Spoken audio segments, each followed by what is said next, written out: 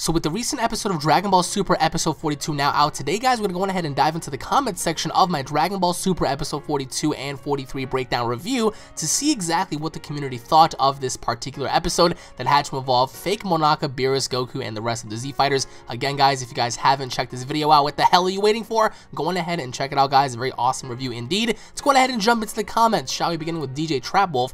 But still, Dragon Ball Super is better than Dragon Ball GT. Sucks huge dick already. We have Dragon Ball Super versus Dragon Ball GT references going on down here. Um, in Dragon Ball Super, they show us Pan, but while she was still young, so you can consider it somewhat Dragon Ball GT. GT was not better because it was a bunch of things that didn't happen until the future, but they ended up showing us the future season early. What is he talking about here? Marcus Lyon. And this is where the series begins to go to shit, mate. Where's Gohan? Good question. Where is Gohan, guys? Pan's rightful father, mate. Nowhere. They even dropped the ball at him being a dad. Ooh, can you say bullshit? And they also did add, and they also add a crappy Goku slash Beerus rematch for what? To shut the fans up for wanting them to fight again? All my mates even said that this series is just a wannabe GT. Here we go. Um, because that's all Dragon Ball Super is. You reused and recycled nonsense, mate. Toriyama has proven and why he is lazy once again. Alright, so now I see why DJ Trapwolf was trying to respond. Alright, so Marcus is insinuating that Gohan's role as a father has not been equated into the series thus far, and I mean, do you really blame him because Pan was just born, so we can't really see what Gohan does as a father because Pan, Pan was just conceived, so not really conceived, but she was just brought into the series. So she was already conceived during Battle of Gods, and now that Videl gave birth to her, now we're going to see what happens with Gohan. I mean, it was stated that Gohan's going to arrive at the party, quote unquote, during the evening, but they also add a crappy Goku slash Beerus rematch for what? To shut the fans up. Alright, well, People have been wanting to see Goku fight Beerus ever since like their first match from Battle of Gods. But for them to say that this was an actual bout between them is unfair because Beerus disguised himself as Monaka to go on ahead and get the job done because he didn't want Goku to lose his motivation. So I'm going to get back to this though. I'm going to get back to this before the end of the video. Johnny Davis. Piccolo once again being a useless secondary character to fucking Goku. No thanks. Piccolo outshines everyone at least once upon a time. If you're talking about like the original Dragon Ball series, then yes, once upon a time, King Piccolo was supreme. He was pretty much outshining everyone else. But now, I wouldn't necessarily say that he is a uh, a secondary character to Goku. Piccolo's in his own league, and this is ultimately Goku's story, so I wouldn't necessarily call him useless because he, he did have somewhat of a role in this episode, but if you're talking about like combat wise in terms of him being useful as a character in terms of like when they when it comes to like fighting off certain characters then yes. Um, but in and of itself a, a, as a whole I don't think Piccolo is necessarily useless. Um, but again I'm gonna come back to these two comments in a bit. I honestly prefer Dragon Ball Z or Dragon Ball GT over Dragon Ball Super. Jesus Christ what's going on today?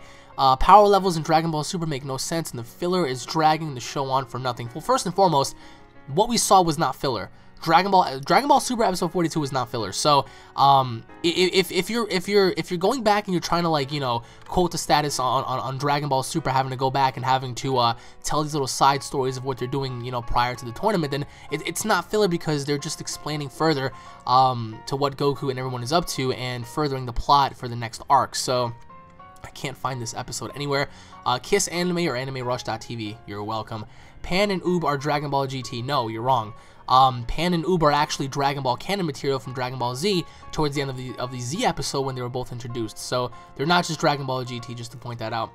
Gohan will return before the Omni tournament stronger than ever and will join Team 7. Let me have a short arc with its own enemy so we can dig into his potential again. That would be great. That would be great. Um, Johnny Davis responded by saying Gohan is dead and gone. Let it go. All the Gohan fans are praying for something that will never happen. Uh, like this like what is this video this this video is like a, a, war between like gt fans z fans gohan fans i mean christ i initially thought they the masked monaka was either gohan who wanted to fight goku in disguise just to show his improvement that would have been good uh, but well, without Goku holding back, or Beerus to hide Monaka's secret, which turned out to be true. I'm hyped for Gohan not showing up in the preview. Okay, I I'm curious as to why. That nearly confirms that he is busy training, possibly in the hyperbolic time chamber, unless they make him, uh, unless they make uh, him be stuck in a conference or something. That'll be horrible. Um, that would be horrible because he, he was already confirmed to go to the conference, but we don't know what he did there. So who knows what the you know what the outcome may be. But he was supposed to be there and he's not there now. So, I mean, I'm pretty sure this conference hasn't dragged on for like a few days straight. So, who knows what he's doing? Dragon Ball GT has not yet happened uh, yet, though we saw it nearly just showing up. and give us a baby Pan because Dragon Ball GT was supposed to happen in the future when Pan grows up. Yes, we know that. Uh, GT is better. All right, this Marcus guy is like really, but like going back to his comment here, by, by, by them giving us Goku and Beerus, or at least Goku fighting a masked Beerus, that's not really bad because Beerus wanted to, you know, shut Goku up and give him motivation for fighting Monaka because he didn't want to reveal himself, he didn't want to reveal Monaka as being weak, so why would he deliberately, you know, let, let Goku's motivation down in him training to get better because obviously Beerus has an agenda, not only for this Omni tournament, but for himself as, as, as a character as well. He wants to be able to test Goku's like limits and stuff. So um, I don't think by them giving us a, a, a, snippet of what they're doing now is shutting the fans up and just giving us a mediocre fight. Um, you're saying that the series is a wannabe GT. How how is Dragon Ball Super supposed to be a wannabe GT? That that's what I'm trying to piece together here. Um, Dragon Ball Super is entirely separate to what Dragon Ball GT is. Granted, you're saying that they're re reusing and recycling characters, um, or nonsense as you said, that might be debated in terms of character designs and overall plot, but then again, wasn't GT also recycled, reused with Super Android 17, with all the other like fusion type things that they were doing with, with, the Shadow Dragons and whatever? I mean, they, they were also, you know, reusing it and recycling stuff as well, so you can't really just say GT wasn't also reused and recycled. just saying, because by you saying that Dragon Ball Super is just a bunch of nonsense is, is kind of not fair because the series isn't even over yet, so let's just go further down, shall we? I like Vegeta's new outfit better than Goku's old one more. Um, I loved both of their new outfits, and I really wish they had more, but Goku's a dumbass at Unreal Engine Gaming. Yes, he is. I mean, he's not he's not dumb, but he's just uneducated in a way, but like, Goku has his moments to where he doesn't understand certain things, especially math. Goku has to find a way to combine with the Kaioken with his godly ki in order to create a stable transformation that supports both of these together. Mr. Speed Freak, how are you? Um, I agree, but then again, the Kaioken took a lot away from his body. And you know it as well as I do that this transformation, or at least this power-up, um, can't really last forever. It's not permanent. So if, if he were to continue to hold it, that would really mess up his body. So I really doubt that he would ever probably use it again. Which I really doubt. I, I really doubt that Goku's ever going to use Kaioken again. That was like a one-time thing to pay homage to like the old classical uh, versions of Kaioken. But I think that what he needs to do is just continuously improve his godly energy. Just keep creating uh, methods to where he can actually have a stable transformation to where he has even higher ki than ever before. Uh, I also prefer Goku and Vegeta's new Geese, or however you spell it. I, I do too, man. Uh, Bulma has got to stop throwing parties. Yes, she does, because every single time she throws a party, something bad always happens. So far, I'm loving Dragon Ball Super Filler, my third favorite filler episode. Uh, if you would, please comment down below and let me know like your other two favorite filler episodes. Because for me personally, um, one of my favorites was when, when Champa first arrived to Beerus' planet, because that was classic. That was legitimately classic. So, Zeno-sama versus Superman. Please don't start this. Please don't start Zeno versus Superman because everybody's just gonna go ape shit in the comments. So, um, well, it seems Pan is gonna whoop some ass in the next episode. May God bless your soul, Pilaf. I agree because Pan is powering up, and we've never seen her power up as a baby like that before. So, who's Oob? Are you kidding? Are you kidding? Oob is supposed to be the reincarnation of Kid Buu, so he's already he's already born. He's already in the show, but he hasn't been shown yet. So, how strong do you guys think Piccolo is compared to everyone else? Uh, could you say that Piccolo is the third strongest to Earth? I uh, no. Um, Goku, Pic well, Goku, Vegeta, Piccolo, Buu, Gohan. No, if, if this order were to be correct, I would say it's Goku, Vegeta, Buu, Piccolo, Gohan. Gohan's last regardless. So how strong did he get after his training? We don't know. Because when he was in the tournament, he, he didn't really last that long. So why Beerus acting tough with Whis like he won't whoop his ass? Exactly, right? Like Beerus, Beerus always has like that authoritative figure. Like, he always wants to talk back to Whis. And Whis always takes it because Whis knows that he would whoop Beerus' ass. And how funny would it be if one day Whis had enough, he just like just sunned Beerus? Like that would be hilarious. But I was surprised when Goku can keep up with his normal form against Beerus. Yes! Anybody else notice that shit? Goku was keeping up with Beerus in his normal form. Granted, Beerus was holding back, Beerus was in the costume, so he wasn't able to unleash his full potential and stuff. But either way, as fast as Beerus came at him, Goku was still hanging in there. I mean, granted, remember guys, he was in his normal base form, so that's saying something. I think the next episode will Goku and Piccolo uh, batter, to be honest. I can't wait for I, I don't know what you mean by that, but next week's episode looks like Pan gets captured and Goku and Piccolo has to go on the rescue, which actually looks very cool. It does, but then again, it's just like Pan seems so wacky tacky and she seems like so outgoing and like childish. It, it's going to be a very funny episode regardless of what happens. So are we gonna see Broly in the Omni tournament? Yes, Broly's gonna Broly's gonna come up. He's gonna show up as a Super Saiyan God, Super Saiyan 7 hybrid fusion with Omega Shenron Baby and Kid Buu. That's exactly what's gonna happen. So Broly's gonna be in the Omni tournament. Can you imagine for a second though, for real guys, if Broly was like in a different universe and he showed up? God Almighty. In Dragon Ball, in the Dragon Ball series, I've always loved the filler. Other shows, not so much. I agree. I've always loved Dragon Ball filler. I mean, whether or not you want to consider this filler or not, I don't. But uh, if you want to consider this filler, then this was one of the funniest fillers they had. So this isn't filler. Based on what was said through the show, I don't think this is filler. I agree. I don't think this was filler because they're building up to this tournament. So why would they even consider that to be something that, that's non-canon? The whole using Monaka's motivation makes no sense. Uh-oh. Uh, it's such an unnecessary plot. Goku's motivation is initially Beerus, then he meets Hit to give him more motivation. Um, spelling's kind of off, but hey, listen, you're right. Goku's motivation has initially been Beerus because he wants to be able to catch up to Beerus and potentially give him a great fight. And ever since he met Hit, as you just said, um, that inspired Goku to you know be motivated even more because now he's looking forward to not only fighting Beerus again, but fighting Hit because remember Hit Hit is always constantly improving. So, uh, let's see. So forget who's bigger, dummy at the end of episode 42. Uh, let's see, let's see. I have a feeling that it was something to work for it again. Or maybe he might be training, which is unlikely could happen in time. Boring episode. Why was this a boring episode?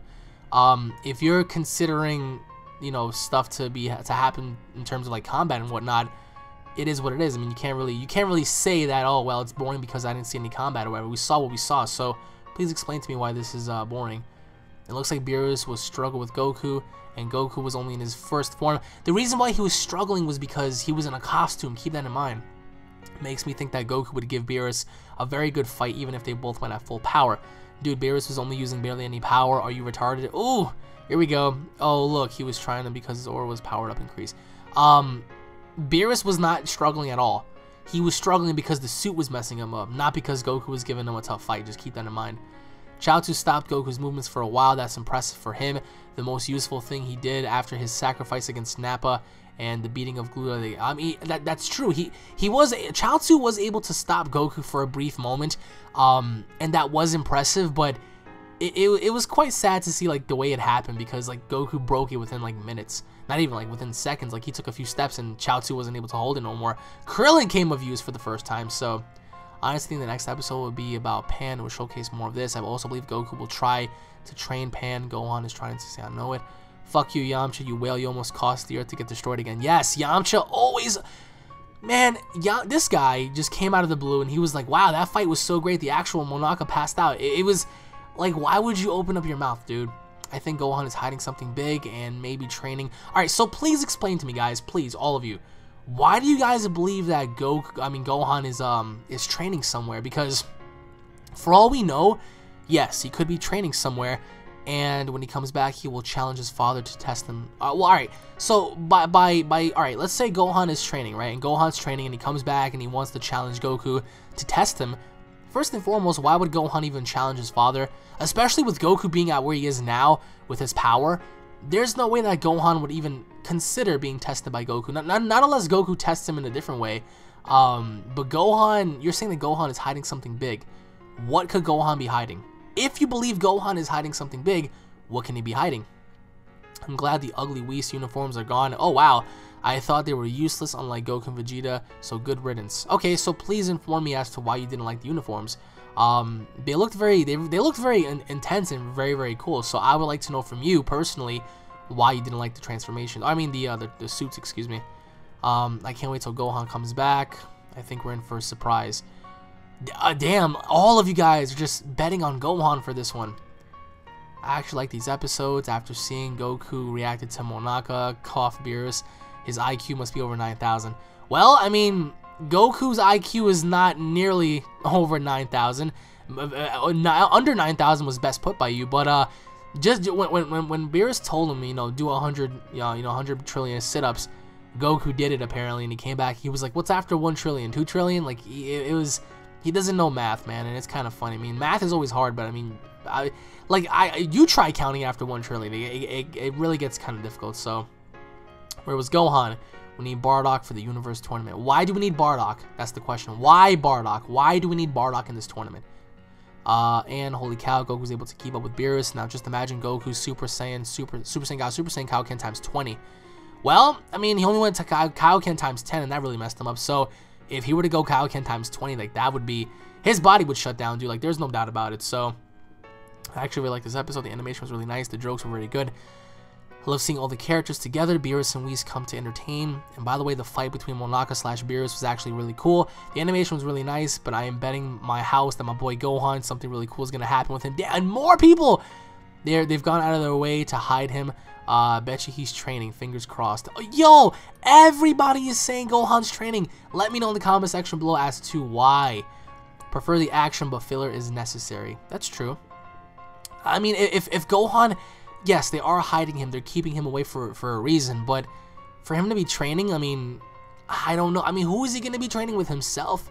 You get what I'm saying? So, but again, guys, these are your comments, and uh, it seems like a lot of you guys, uh, despite like the bickering between GT and Super, a lot of you guys are really betting on Gohan and returning. So, comment down below and let me know your overall thoughts on Gohan possibly training. Um, your overall thoughts on the potential, you know, Go Goku in base form fighting Beerus, because I keep in mind Beerus was holding back, so you can't really put that in, in, in Goku's favor. GT was lame. Why does everyone like GT? Super is way better, and that doesn't been all points of the episode. Goku is supposed to be grown. The only good parts of GT was the Baby Saga and the Shadow Dragon Saga. I agree, the Baby Saga was the best, not so much the Shadow Dragon Saga. Traveling in space, the stupid really didn't do anything for further the plot, except for bringing Baby to Earth. That's true. But again, guys, leave your thoughts down below as to your overall thoughts on Gohan. Goku versus Beerus, and what do you guys expect from this Omni tournament?